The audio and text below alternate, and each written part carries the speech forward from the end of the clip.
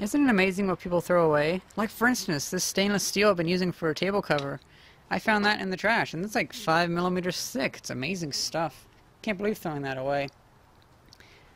I went to the local recycling center, the one that I have kind of like a backdoor deal with, and walked in the back door. Haven't been there a while, but they recognized me like, hey, I haven't seen you in a while. It's like, cool, haven't seen you in a while either.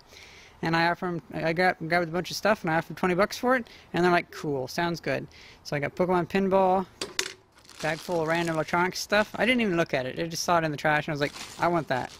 But the main things are this Hickok Model 217 semiconductor analyzer, which is pretty neat. I didn't really look at these. I just wanted the case because it's like I don't care if how cool they are. I know that I want it just for the case because like this it's like oh look at that just so nice and a little handle on them so wonderful. And the Hickok Model 270 function generator, which I've already shown on my channel once, me playing around with it, making music from it, well, kind of music from it.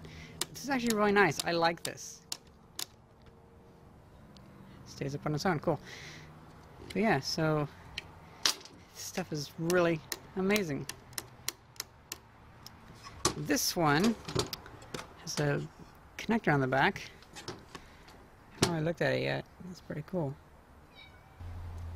So I think this thing's from like the mid-1970s or so. Still works fine. I'm not sure about how accurate it is, but whatever, who cares. So we have attenuation, square wave, sawtooth wave, sine wave. And the frequency ranges are like times one, so that's like 10 hertz at the most. Oh, whoops. That's about up to like 100 hertz, so it's fairly hearable.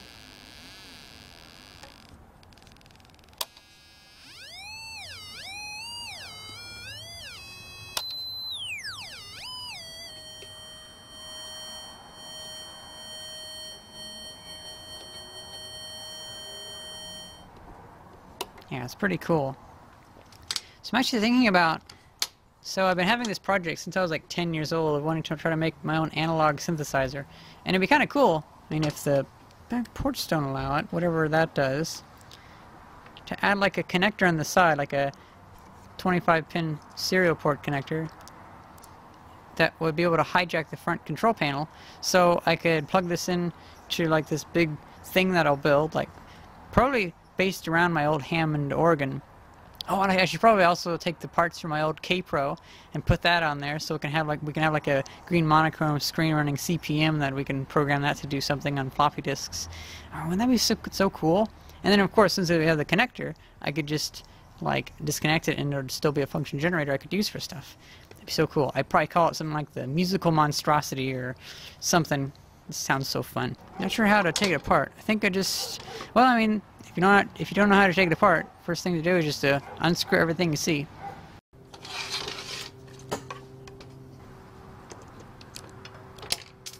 Whoa.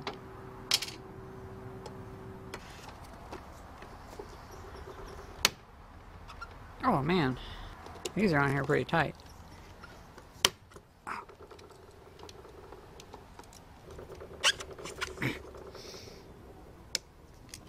Oh. Whoa. Oh, wait, what? Okay.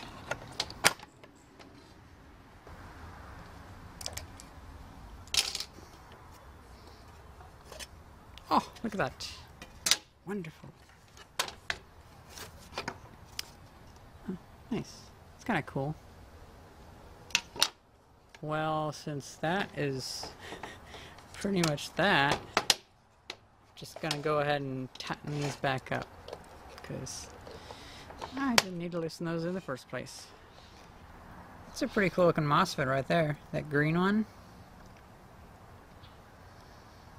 I love looking at old stuff like this. Oh, there's actually a part number on that one. I love looking at old stuff like this because it's it's always so foreign. It's always so interesting.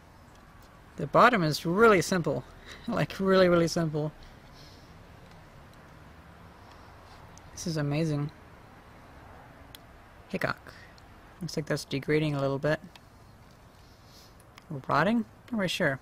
These two transistors, I think, are connected together by the C-shaped copper heatsink. At least I think it's a heatsink.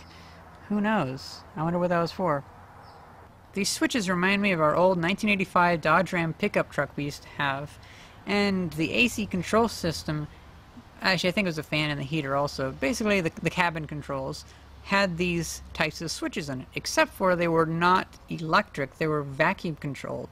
Or they controlled the car via vacuum. So they had like these layers of, I think they're like a fiberglass material, and each one had a channel cut through it. And so when they were all squished together, they made like a vacuum circuitry where there was there was a vacuum pump on the engine, and that would pull air out of it. And so by switching one of these, it would move like a plunger or something like that, and like it would open a valve or something inside of it. I'm not really sure how it worked, but then that would like allow air to be sucked from a hose, which would go and activate something and like turn on a fan or something like that. It's like so weird. We we got we had to take it apart once, and it almost never went back together. We finally got it together like um, a year before we sold it though. But yeah, it just it reminds me of that. Funny enough, because we couldn't get that thing back together because it's such a complex little thing on the other one. We used to have to hit like four buttons at a time to get the defrost to turn on. So that was that was interesting. Oh well. This is such a nice little case. I like it. It is a shame that it relies on these little plastic clips. I mean, I, I could see that breaking very easily as the thing ages, but it hasn't so far, and it's like, what, 30 some, eh, well, actually, it gets to be like 40 some years old.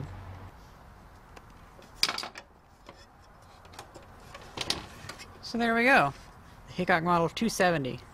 Well, now let's, let's look at the Hickok Model 217. This thing's weird. I'm less interested in this one because it doesn't make funny sounds, but oh well. Plus, I don't usually have to analyze semiconductors, so I don't know. I might not, I might not use this one as much, or I might repurpose it.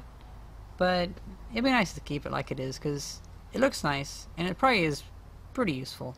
So this one has a lot less controls on on the front than the other one does, but it's more of a specific purpose. You know, it's for testing something, not like generating something. So I assume I'd use it is just you take a transistor and pop it in there and it would tell you if it was good or not. Probably have to like tell it which like version or whatever it is. Or actually I guess I guess no, if it was germanium it would register on that scale. If it was silicon it would work on that scale. That makes sense I guess. That's interesting. Then of course if you have a bigger transistor maybe you just pull the three wires out and hook it on there. At least that's how I think it is. Yeah, this is kind of cool. Well, in the back, as you've already seen, I think, it opens up. So you can have a line, or you can have a battery. So, evidently, um, yeah, looks like that's a 9 volt battery. So, this doesn't have to have main mains power. This can run off of a 9 volt battery. So that's pretty cool. Little inspection. So if this is able to have this such such an open area, I mean this thing's probably so simple. I'm really curious to see inside now. So start unscrewing.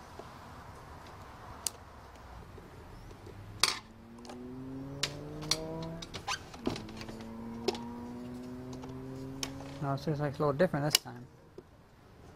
Maybe it comes up. Hmm.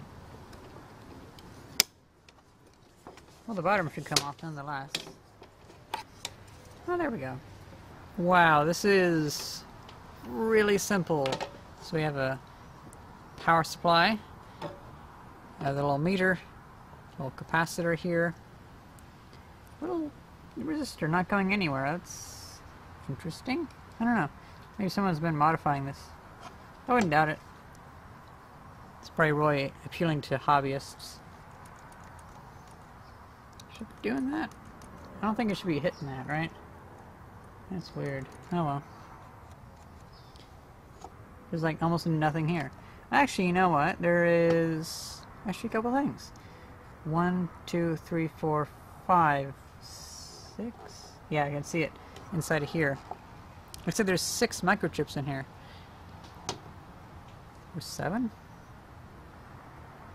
Okay, that's odd. Maybe this is more complex than the function generator. I would have not expected that. That's weird. Don't know how to take that out, but I don't feel like taking that out because I feel like I just probably break it, you know? You know, I'm kind of tempted, though, to take this apart and convert it into like a battery-powered portable DC power supply. So you can have like just like a bunch of lithium ion cells in here to give a bunch of power. Convert this to just a voltmeter, have a little dial, and have the voltage coming out. So you can have like 0 to 60 volts or something like that. Portable. Wouldn't that be cool? I don't know. I mean, I'd feel bad for taking this thing apart though. But, oh well. I might find some other case that looks better for that, you know? Like, something I wouldn't feel so bad about taking apart.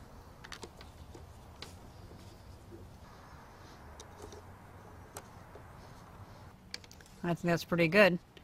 So, I don't really know what else what else to say about these because I've never really had either of them.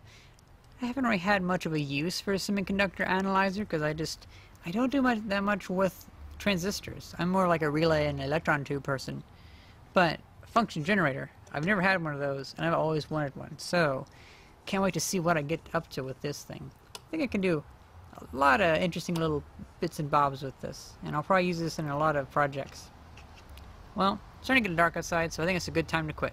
Hope you guys enjoyed this video, and thanks for watching. See ya!